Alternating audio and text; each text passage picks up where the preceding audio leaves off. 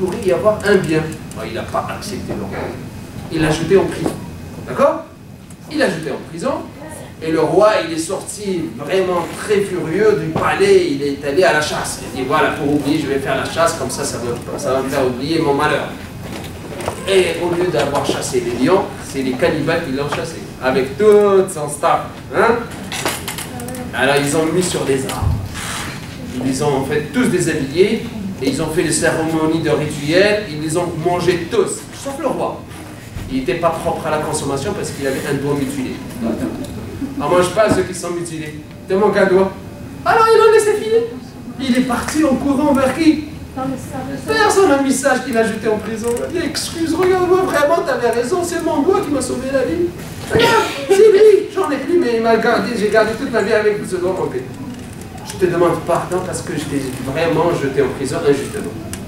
Non, t'as pas à t'excuser. C'est bien de m'avoir envoyé en prison, jeté en prison. Comment c'est bien? Eh bien oui, tout est bien par rapport. Parce que si tu m'avais pas jeté en prison, tu m'aurais emmené avec toi et je serais déjà dans le ventre des cannibales. Ok? Donc là, je l'ai raconté plusieurs fois. Et bon, c'est que, qu'est-ce qu'il nous dit le prophète Un des secrets de cette salat de la nuit, il dit le prophète si tu te réveilles la nuit, tu te réveilles avec ta femme, regardez la relation homme-femme dans l'islam. Je vous ai dit le paradis chez soi, c'est ça, ça commence par là. Parce que comment le construire ce paradis? Qu'est-ce qui est marié ici, le mains Parce qu'hier, quand j'ai fait l'exercice à l'université de l'UQAM, c'était quelques personnes. Bravo. Donc, ceux qui sont mariés hier, c'était peu. Voilà, là, on est majorité ici. Qu'est-ce qu'il faut faire? Le prophète sallam, il nous dit, c'est pas seulement le, si le mari se réveille. Regardez, c'est quoi le mérite? S'ils font une, une autre version que vous voyez ici en arabe, si la femme se réveille la, plus, la, première et elle réveille son mari, ils vont être pareils. Ils vont avoir comme mérite d'avoir fait seulement une salade ensemble. Une salade ensemble. Deux rakats. Ils vont être considérés comme des personnes qui invoquent Dieu très souvent et en permanence. Regardez quel bienfait. Regardez deux personnes qui s'aiment, qui ont construit un paradis à la maison. C'est ça l'objectif. Je vous ai dit déjà, Dieu nous dit, il y a deux paradis dans le corps. Où sont les deux paradis? Il y a un seul paradis éternel. Le premier, il est là. C'est ou bien on construit notre paradis ici, on l'aura dans l'au-delà, ou bien on en fait l'enfer ici, ça va être l'enfer dans l'au-delà. Si on n'est pas capable de construire notre paradis c'est un grand problème. C'est pour ça que l'imam Shafi'i, ça a été repris par l'imam Taymiyyah, il dit il y a sur terre un paradis. Celui qui ne vit pas ce paradis-là, il ne vivra pas le paradis éternel. Oui, mon fils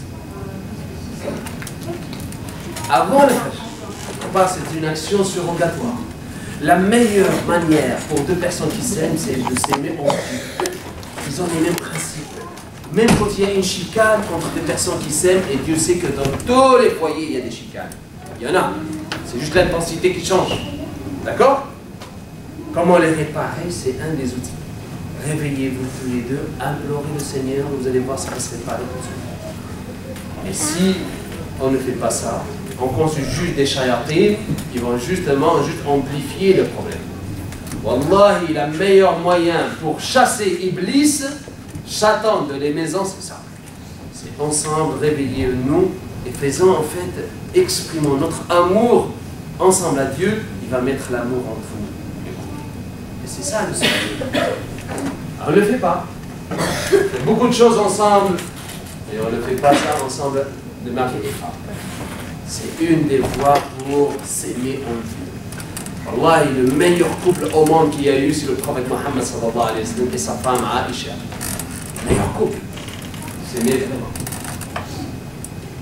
Alors le prophète sallallahu alayhi wa sallam, on va conclure, je pense qu'il reste deux hadiths, on va finir. Le prophète sallallahu alayhi wa sallam, il dit la fierté, l'honneur, comment on peut reconnaître que quelqu'un a l'honneur avec Dieu? Le prophète, le Coran, il nous dit le plus honoré envers Dieu, c'est qui? Est-ce qu'il y a une différence entre un, riche ou un pauvre chez Dieu. C'est lui qui a donné la richesse. Est-ce qu'il y a une différence entre un arabe et un non-arabe Non. Le prophète, il a dit le premier jour quand il a mis les, pas en fait, à la Médine. Est-ce qu'il y a une différence entre les couleurs des gens? Non. Bilal, il était un esclave, aucune valeur. Son maître, il pouvait en fait le tuer en un, rien de temps. Qu'est-ce qu'il a dit Le jour où il est devenu musulman, il est devenu le seigneur des musulmans. Notre maître, il dit Omar c'est Bilal, esclave il était. Regardez, il est devenu notre maître. Il a rendu le grand sage de l'islam. Comment il faisait pour surmonter Allah, et aujourd'hui, j'ai posé cette question-là, moi ça m'a bouleversé quand j'ai entendu la réponse d'un enfant plus, plus jeune que toi. Plus jeune que toi, oui. Dans l'école de Laval, à Laval.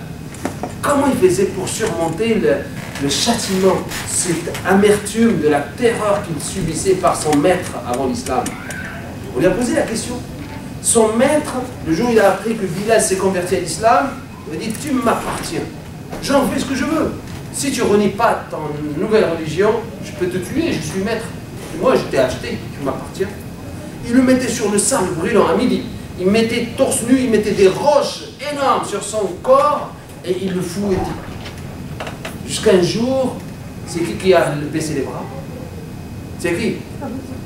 C'est qui qui C'est la personne qui fait mouetter l'esclave qui a dit J'en peux plus, je suis fatigué. Pauvre lui, qu'est-ce qu'il fait? Alors, quand on a lui a posé la question Comment tu faisais Il répondait par Ahadun Ahad Dieu est l'unique. J'épuise ma source, mon énergie de Allah. Et c'est là qu'on lui a posé Comment tu faisais pour surmonter ces douleurs intenses? Qu'est-ce qu'il a répondu? Qu'est-ce qu'il a répondu selon vous Je vous ai dit quelqu'un ce matin, il m'a donné une autre réponse qui est extraordinaire aussi. Mais quoi Qu'est-ce qu'il a répondu selon vous? Être reconnecté, oui, ça pourrait être ça. Qu'est-ce qu'il a fait? Qu'est-ce qu'il faisait? Hein? Il avait une armure? Non, il n'y avait rien en fait. La foi? Très bien, il avait la foi. Mais ce jeune me dit, m'a dit vraiment quelque chose qui m'a bouleversé. Il m'a dit Ah, vous savez qu'est-ce qu'il a répondu? Tu peux torturer mon corps, mais mon cœur et mon âme appartiennent à Dieu. Comment tu as appris ça? C'est tellement beau. Un enfant de 8 ans qui sait dire ça, Allah, et ça m'a fait quelque chose. Mais effectivement, qu'est-ce qu'il a dit, Bilal? Il a dit Je mélangeais.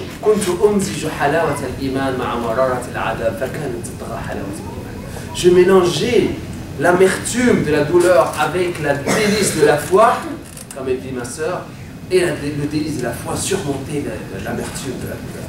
Est-ce qu'on a, on a cette de délice de la foi? Est-ce qu'on a goûté un jour, un moment, qu'on s'est senti tout proche de Dieu On s'est senti connecté avec Dieu? Tu aurais aimé que ça dure une éternité?